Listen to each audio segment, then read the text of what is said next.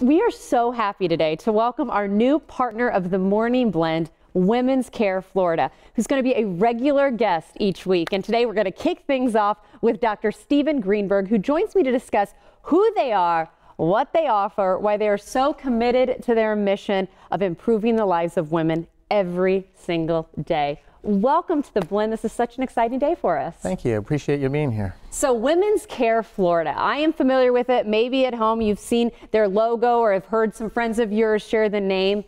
Let's discuss. What is Women's Care Florida?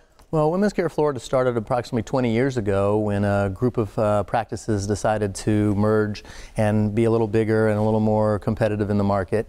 And uh, it's developed in that time. Uh, in the last 20 years, we're now over 250 providers in uh, and approximately 50 offices um, all across St. Pete, Clearwater, Tampa, Lakeland, Plant City, Orlando, um, and, and Brandon and Riverview. So we're, we're all over the place now.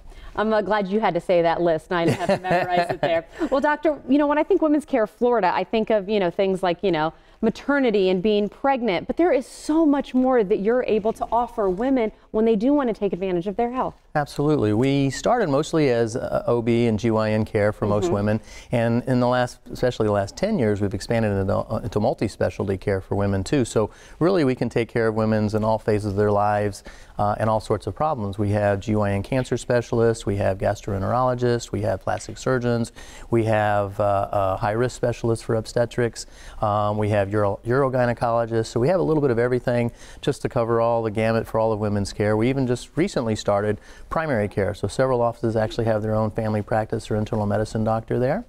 And one of the advantages there, we can keep everything sort of together, and uh, it's all in the same uh, records department, record computer, so that makes much, much, much easier.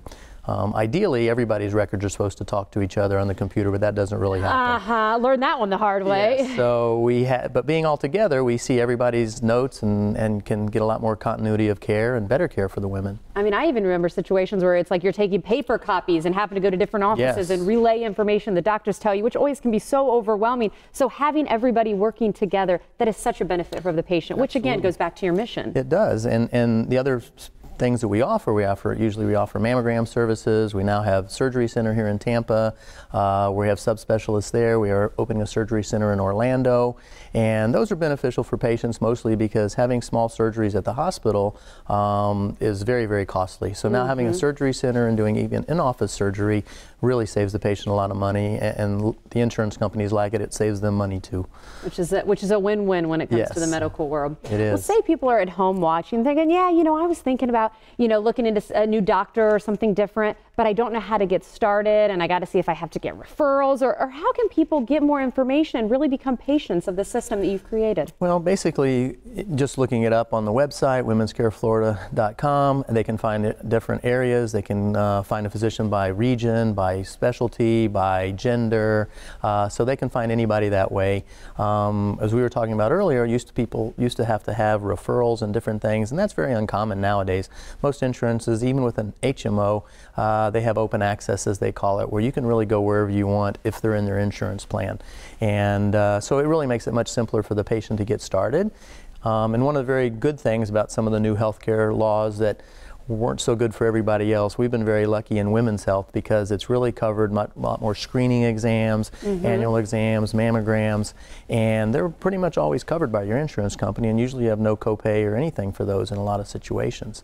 So the access for women is actually improved um, and trying to ratchet back some of the healthcare laws right now may actually hurt women more, but uh, so we're trying to fight against that a little bit. Like that. Again, going to that mission statement, really trying to take care of women. You know, we've really just scratched the surface and why they can help and they can focus on what you may need and so many reasons why. And I know we've got plenty more upcoming segments to right. just illustrate why you are standout. Again, thank you so much for joining us today. And he touched on it once, but we want to share the website one more time. For more information on how Women's Care Florida can help you, just visit the website that you see on the screen. And doctor, come back so we can talk about more. How's that sound? It. Appreciate it. Thank you for your help.